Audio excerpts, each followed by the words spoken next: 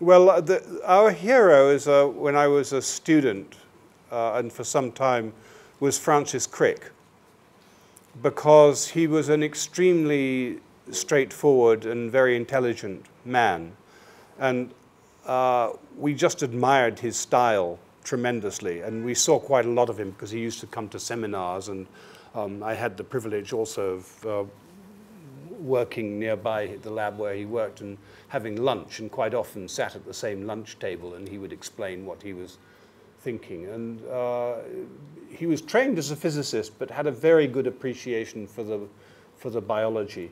And conversations with him were always very, very stimulating.